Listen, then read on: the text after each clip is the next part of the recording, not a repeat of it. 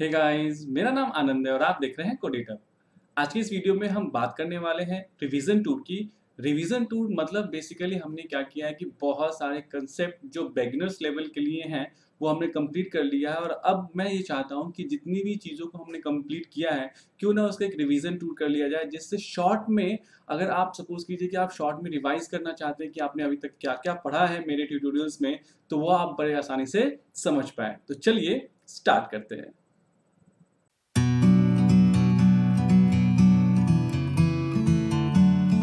तो जहाँ तक रिवीजन टू की बात है तो अभी तक जो भी हमने पढ़ा है स्टार्ट से लेकर अभी तक, आज तक का कंसेप्ट उसको मैं बहुत शॉर्ट में समझाऊँगा, ताकि अगर आप शॉर्ट में चाहते हैं ये समझना कि अभी तक हमने क्या क्या पढ़ लिया है तो बस उसको आप ये देख के ये समझ के अगर ये स्लाइड और ये वीडियो आपने समझ ली तो आप समझ जाएँगे। बेसिकली हुआ क्या है कि आ, हमारी वीडियोस काफ़ी बड़ी हो चुकी हैं। अभी तक हमने 125 से ज़्यादा वीडियो बना ली हैं। तो उनको एक साथ पढ़ने का ये भी फ़ायदा है कि अगर आप कभी चाहते हैं कि एग्ज़ाम टाइम में शॉर्ट टाइम में कम से कम टाइम में आप सारी चीज़ों को रिवाइज कर सके उस वक्त ये वीडियो आपको बहुत ही ज़्यादा मदद करने वाली है। क्योंकि मैंने लगभग, आप मान के चलो कि बिगनर्स लेवल का सारा कंसेप्ट क्लियर कर लिया है, उसको अब कैसे एक ही वीडियो में या दो या तीन जितनी वीडियोस हमारी लगेंगी, उस वीडियो में कैसे हम पूरी तरह से उसको जो है वो आसानी से समझ लें, फटाफट वाली चीज़ तो ये है हमारी पाइथन की रिविज़न टूल सबसे पहला, सबसे कॉमन सी बात ये है, इसमें लोग पूछते हैं कि किसने बनाया था हमारे पाइथन को। तो यहाँ पे बस वही चीज़ है कि Python was developed by Guido van Rossum ये ग्यूडो वॉन रोजम ने बनाया था और 1990s में बनाया था, ठीक है? और आजकल के टाइम में ये बहुत ही इंपॉर्टेंट है। मैं ज़्यादा इसमें ब्रीफ नहीं करूँगा, क्योंकि मैंने बिल्कुल छोटे छोटे मतलब छोटे छोटे शॉर्ट नोट्स की टाइप आपको बताते चल रहा हूँ। और आजकल जो पाइथन ज़्यादातर यूज़ किया जाता है, वो यूज़ किया जाता है आर्टिफिशियल इंटेलिजेंस की फ़ील्ड में डेटा एनालिसिस की फ़ील्ड में वेब डेवलपमेंट की फ़ील्ड में और मशीन लर्निंग के फ़ील्ड में। और बहुत सारे ऐसे और फील्ड्स हैं जिसमें हम पाइथन क्या कर रहे हैं? यूज़ कर रहे हैं। अब आइए, आगे बढ़ते हैं। तो सबसे पहले किसी भी प्रोग्रामिंग लैंग्वेज में हम जानते हैं उसके टोकन्स के बारे में। टोकन्स होते क्या है? तो देखिए, जो भी आप प्रोग्रामिंग पढ़ते हैं, उसमें छोटे छोटे पार्ट्स होते हैं। मतलब जैसे मैंने बताया कि अल्फ़ाबेट जो स्टार्टिंग अगर आप इंग्लिश पढ़ना शुरू करते हैं तो स्टार्टिंग किससे करते हैं? अल्फ़ाबेट से करते हैं तो वो अल्फ़ाबेट्स होते हैं। अल्फ़ाबेट से फिर मिलकर वर्ड्स बनते हैं। वर्ड से फिर सेंटेंसेस और सेंटेंसेस से फिर बनते हैं हमारे क्या? पैराग्राफ्स तो वैसे ही जो स्मॉलेस्ट एंटिटी होती है किसी भी प्रोग्रामिंग लैंग्वेज की, सिर्फ़ पाइथन की बात नहीं कर रहे हैं। किसी भी प्रोग्रामिंग लैंग्वेज की जो स्मॉलेस्ट एंटिटी होती है, उसको हम लोग कहते हैं क्या? टोकन्स टोकन्स को समझने के लिए इसे पाँच पार्ट्स में डिवाइड किया गया है। किल्पो या किल्सो, आप कोई भी चीज़ कह सकते हैं, ठीक है?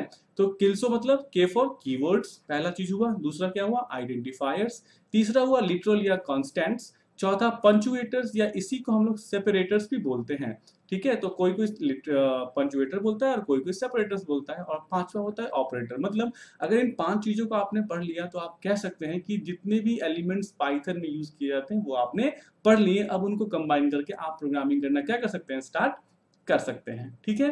तो अब सबसे पहले अगर हम कीवर्ड्स पढ़ना चाहें, देखिए सारा शॉर्ट में आपको मिलेगा, हर चीज़ शॉर्ट में फटाफट रिवीजन हो जाएगा। कीवर्ड्स किसे कहते हैं? तो कीवर्ड्स आर रिज़र्व वर्ड्स मतलब ये क्या होते हैं? रिज़र्व वर्ड होते हैं, जिनकी खास कोई मीनिंग होती है, ठीक है? जैसे फॉर एग्ज़ाम्पल ट्रू याद रखिएगा ट्रू का ट्री कैपिटल है फॉल्स का एफ़ कैपिटल है फॉर इन और वाइल नन ब्रेक एलिफ बहुत सारी चीज़ें जो है, ये ऐसे वर्ड्स हैं जिनका काम फिक्स है और इन्हीं काम के लिए आप क्या कर सकते हैं, इसको यूज़ कर सकते हैं अपनी प्रोग्रामिंग में तो ये थे कीवर्ड्स दूसरा होता है आइडेंटिफायर आइडेंटिफायर्स क्या होते हैं? तो आइडेंटिफायर्स आर द नेम्स यानी वो, ये वो नाम है गिवन टू अ वेरिएबल जो आप किसी वेरिएबल को देते हैं, या किसी ऑब्जेक्ट को देते हैं, या किसी फ़ंक्शन को देते हैं, या किसी क्लास को देते हैं, या लिस्ट को, बहुत सारी चीज़ों मतलब किसी भी चीज़ को जब आप एक नाम देते हैं, वो नाम क्या कहलाता है? आइडेंटिफायर कहलाता है। रूल्स क्या होते हैं? फ़र्स्ट रूल ये होता है कि it must not be any reserve word मतलब किसी भी रिज़र्व वर्ड को, यानी कि आप कह सकते हो कि इंट नाम का वेरिएबल आप नहीं मान सकते। इफ़ नाम का वेरिएबल नहीं मान सकते। ट्रू नाम का वेरिएबल नहीं मान सकते आप। वाइल नाम का वेरिएबल नहीं मान सकते आप। फॉर नाम का वेरिएबल नहीं मान सकते। क्यों? क्योंकि रिज़र्व वर्ड को आप यूज़ नहीं कर सकते हैं एज आइडेंटिफायर ठीक है? दूसरा क्या कहता है? No space is allowed space को यूज़ नहीं कर सकते हैं। तीसरा first character should be alphabet और अंडरस्कोर यानी कि पहला कैरेक्टर जो होगा, वो या तो कोई एक अल्फ़ाबेट होगा, या तो क्या होगा अंडरस्कोर होगा। मतलब अगर आप कोई वेरिएबल नाइन ए मानते हैं तो ये एप्लीकेबल नहीं है। मतलब ये अलाउड नहीं है। क्यों? क्योंकि नाइन ए में फ़र्स्ट कैरेक्टर जो है, वो क्या है? नंबर है। मतलब वो एक डिजिट है, इसलिए अलाउड नहीं है। और नेक्स्ट है no special symbols is allowed except underscore कोई भी स्पेशल सिंबल अलाउड नहीं होगा एक्सेप्ट छोड़कर किसको? अंडरस्कोर को तो ये थे आइडेंटिफायर्स नेक्स्ट है लिटरल्स या कॉन्स्टेंट्स कॉन्स्टेंट्स का मतलब होता है फिक्स वैल्यूज़ तो लिटरल्स या constants are those whose value cannot be changed during the execution of the program. यानी कि एक बार आपने इसमें जो वैल्यू डाल दिया प्रोग्राम के एग्जीक्यूशन के दरमियान ये कभी आप चेंज नहीं कर पाएँगे। यही कंसेप्ट होता है किसका कॉन्स्टेंट्स का इसे लिटरल्स भी कहते हैं, ठीक है? There are different types of strings in Python मतलब स्ट्रिंग्स नहीं कहेंगे, इसे हम कहेंगे constant there are different types of यहाँ पे गलत टाइपिंग होगी, यहाँ पे आप क्या कहेंगे कॉन्स्टेंट्स तो there are different types of constants in Python अगर आप स्ट्रिंग मतलब कांस्टेंट आपका स्ट्रिंग टाइप का है तो वो हो जाएगा। स्ट्रिंग कांस्टेंट अगर नंबर को आपने कांस्टेंट बना रखा है तो वो न्यूमेरिक हो जाएगा। बुलियन को कांस्टेंट बना रखा है तो वो बुलियन कांस्टेंट हो जाएगा और स्पेशल लिटरल नन एक इसमें जानने वाली बात है नन भी एक चीज़ होती है हमारे पाइथन में, और ये क्या होता है स्पेशल कांस्टेंट होता है। None represents absence of a value none का मतलब होता है कि कहीं किसी भी वेरिएबल में कोई वैल्यू एग्जिस्ट नहीं कर रही है। ये है एक स्पेशल लिटरल याद रखिएगा। None is a special literal यानी कि स्पेशल कॉन्स्टेंट राइट नेक्स्ट है पंचुएटर्स पंचुएटर्स मतलब तो पंचुएटर्स इसे सेपरेटर्स भी कहते हैं are use to organize sentence structure separating one element with other मतलब हम इसका यूज़ करके किसी भी चीज़ को ऑर्गेनाइज करते हैं, अपने प्रोग्रामिंग को ऑर्गेनाइज करते हैं। जैसे ये पैरेंथेसिस हो गया, ठीक है, ये, फिर ये भी एक पैरेंथेसिस हो गया, ये भी हो गया, ये एट द रेट का सिंपल हो गया, ठीक है, ये bracket single quotes open close double quotes open close comma semicolon dot ETC बहुत सारी चीज़ें होती हैं। मतलब ये एक एलिमेंट को दूसरे एलिमेंट से सेपरेट करता है। जैसे मान लीजिए मैं लिखता हूँ ए कॉमा बी तो मतलब क्या हुआ? एक वेरिएबल ए है और एक वेरिएबल क्या है? बी है। इन दोनों को सेपरेट करने के लिए मैंने किसका यूज़ किया? कॉमा का यूज़ किया।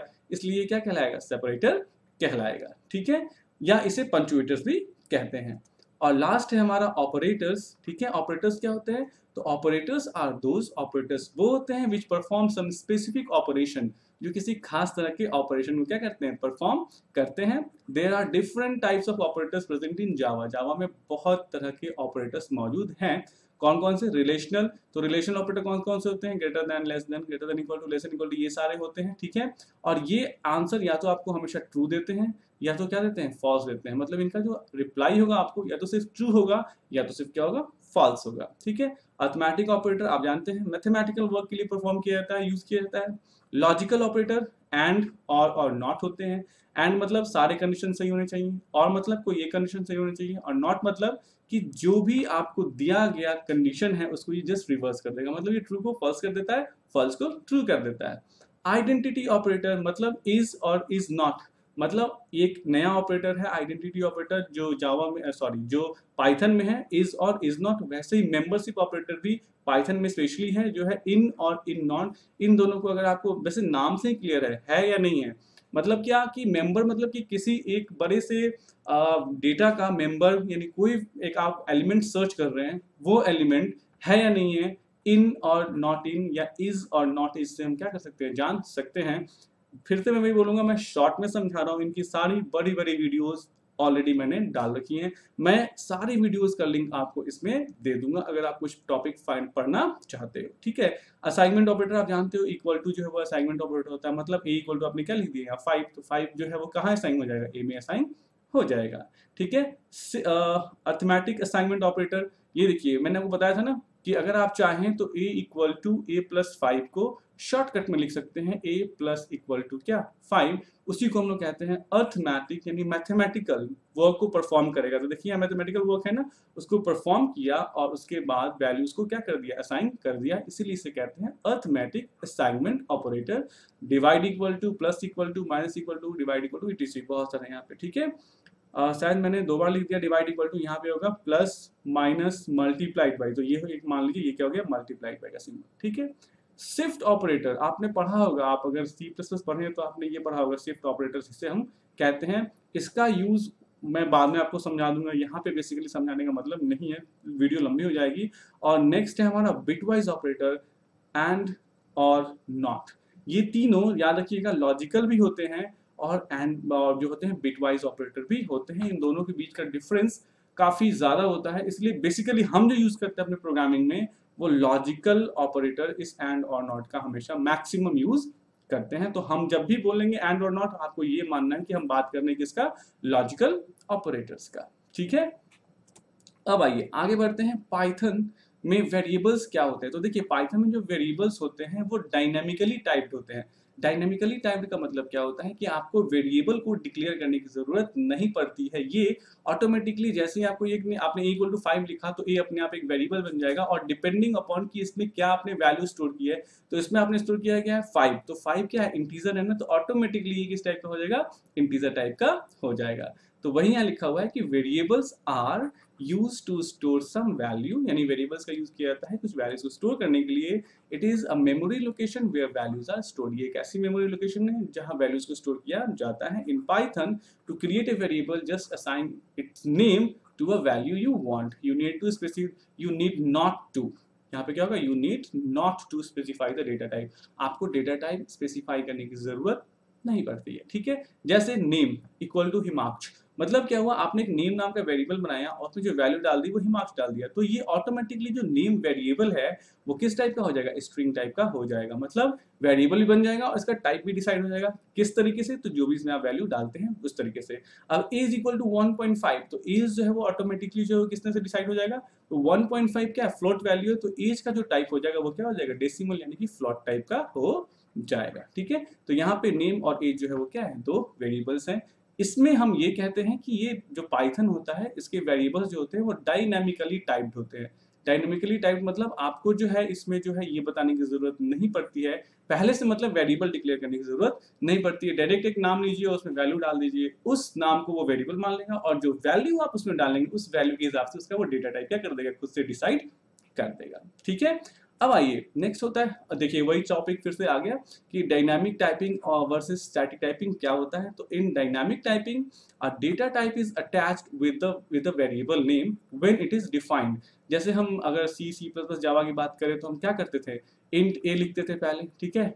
और फिर उसके अगले लाइन में हम ए इक्वल टू फाइव लिख देते हैं। मतलब क्या हुआ कि हमको पहले बताना पड़ता था ए का टाइप कि ए जो है वो इंटीजर टाइप का है, ठीक है? तब हम उसमें कोई भी इंटीजर वैल्यू डालते थे इस कंसेप्ट को हम कहते थे क्या?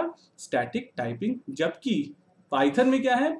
It in but in dynamic typing यानी कि जो हम पाइथन की बात कर रहे हैं we need not to define a variable with data type so we can assign any type of value to it मतलब इसमें हमें किसी भी तरह के डेटा टाइप बताने की ज़रूरत नहीं होती है। जैसे आप बिल्कुल एग्ज़ाम्पल देखिए, यहाँ इंट ए माना मैंने, फिर ए में हमने क्या डाला? फाइव डाला। तो मतलब आप पहले वेरिएबल मानोगे और तब उसमें वैल्यू डालोगे, ठीक है? जबकि आप यहाँ पे डायरेक्ट ठीक है, यहाँ पे क्या करोगे इक्वल टू फाइव मान लोगे तो ए की वैल्यू ऑटोमेटिकली क्या हो जाएगी फाइव हो जाएगी, ठीक है? वैसे ए इक्वल टू राम मान लो ए की ए का डेटा टाइप ऑटोमेटिकली क्या हो जाएगा? आपका हो जाएगा ये स्ट्रिंग टाइप तो ये दोनों करेक्ट है। देखिए, एक बार आपने ए में फाइव डाला, एक बार आपने ए में राम डाला, दोनों के दोनों क्या है, सही है। यहाँ पे क्या होगा, अगर स्टैटिक टाइपिंग की बात करें तो अगर आपने ए को इंटीजर बना रखा था तो ए इक्वल टू फाइव तो करेक्ट है, लेकिन ए इक्वल टू जैसे राम डालते ये क्या होता है, गलत बता देता है। ये होता है डिफरेंस दोनों में किसमें? स्टैटिक टाइपिंग और डायनेमिक डायनामिक टाइपिंग इसलिए पाइथन को हम बोलते हैं डायनेमिकली टाइप्ड लैंग्वेज ओके तो मुझे आ, लगता है कि आपको ये समझ में आ रहा होगा। बेसिकली रिवीजन है तो थोड़ा सा जल्दी जल्दी करना पड़ रहा है क्योंकि ज़्यादा चीज़ों को कम टाइम में क्या करना पड़ता है? कवर करना पड़ता है। अब आइए, अब आते हैं नेक्स्ट टॉपिक है हमारा मल्टीपल असाइनमेंट मल्टीपल असाइनमेंट का मतलब क्या होता है? ये, बस ये जानिए। A equal to B equal to C equal to ten मतलब ए में भी टेन चला जाएगा बी में भी टेन चला जाएगा और सी में भी टेन चला जाएगा। ये पहला कंसेप्ट हो गया मल्टीपल असाइनमेंट का। दूसरा केस क्या है? A comma B comma C equal to three ten comma twenty comma thirty मतलब क्या हुआ कि ये तीन वेरिएबल्स अलग अलग बनेंगे, ठीक है? ए में क्या चला जाएगा? ए में चला जाएगा टेन बी में क्या चला जाएगा? बी में चला जाएगा ट्वेंटी और सी सी में क्या चला जाएगा? थर्टी मतलब क्या हुआ कि तीन वेरिएबल आपने एक साथ माना, उस तीनों में एक साथ क्या कर दिया? वैल्यू डाल दिया। This is called multiple assignment of what values right I hope आपको समझ में आ रहा होगा। ऐसे ही अगर आपको दो वैल्यूज़ को स्वैप करने का प्रोग्राम लिखना है ना तो बस ये लाइन लिखनी होती है। मतलब x comma Y equal to Y comma X मतलब x में y का वैल्यू डाल दो वाई में किसका वैल्यू डाल दो, x का वैल्यू डाल दो दैट्स इट हो गया आपका काम खत्म राइट तो ये है मल्टीपल असाइनमेंट का कंसेप्ट अब आते हैं आउटपुट के बारे में। आउटपुट आप जानते हैं, अगर हमें पाइथन में आउटपुट करना है तो हमें बस प्रिंट स्टेटमेंट का यूज़ करना होता है। जो भी कुछ हम डबल कोट्स में लिखते हैं, वो एज इट इज़ क्या हो जाता है? प्रिंट हो जाता है। वैसे में आप प्रिंट करते हैं। अब एक चीज़ देखिए, जैसे मैंने मल्टीपल चीज़ों को प्रिंट करना था तो हेलो फिर टू और फिर पाइथन मतलब क्या हुआ? मैंने हेलो टू पाइथन लिखा, कोई स्पेस तो नहीं दिया, लेकिन जब इसका आउटपुट आएगा तो बिल्कुल वैसे ही आएगा, एक स्पेस के साथ आएगा। हेलो टू क्या? पाइथन इसका मतलब क्या हुआ? इसका मतलब ये हुआ कि ऑटोमेटिकली ये खुद से हर बार स्पेस जो है वो दे देता है। तो इसका मतलब क्या हुआ कि इसमें बाय डिफ़ॉल्ट प्रॉपर्टी है। पहली प्रॉपर्टी ये है कि हर एक प्रिंट जैसे आप प्रिंट स्टेटमेंट यूज़ किया फिर ये प्रिंट स्टेटमेंट यूज़ किया तो जब जब आप प्रिंट स्टेटमेंट यूज़ करेंगे ऑटोमेटिकली हर बार आउटपुट आपके नए लाइन में आएगा पहली चीज़।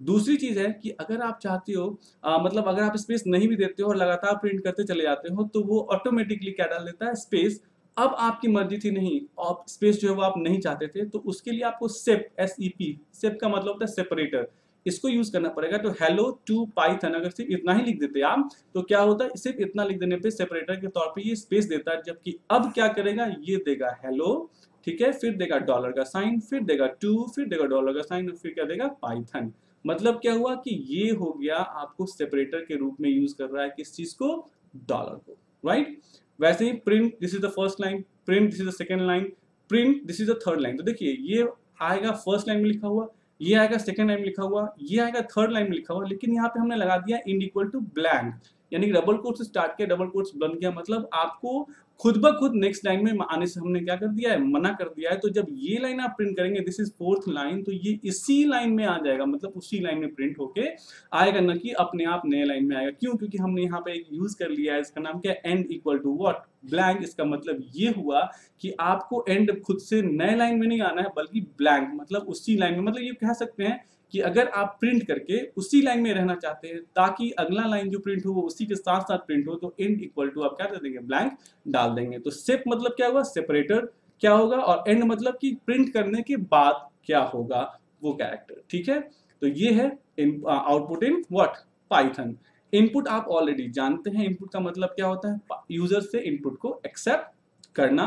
हम क्या जानते हैं तो input in Python is use is done using input method यानी कि इनपुट मेथड का यूज़ करके हम क्या करते हैं इनपुट करते हैं, और जो भी इनपुट होता है further the input is in the form of string data type यानी ये जो होता है, वो स्ट्रिंग डेटा टाइप में होता है एंड हेंस और इसलिए if you want to convert the input to other data type मतलब क्या हुआ सिंपल सी बात है कि बाय डिफ़ॉल्ट जो आपकी एक्सेप्टेंस होती है इनपुट की, वो होती है किस टाइप में स्ट्रिंग डेटा टाइप में।